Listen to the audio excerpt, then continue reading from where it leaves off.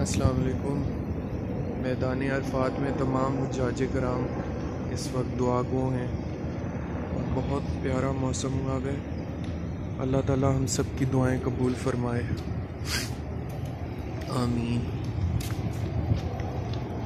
आमीन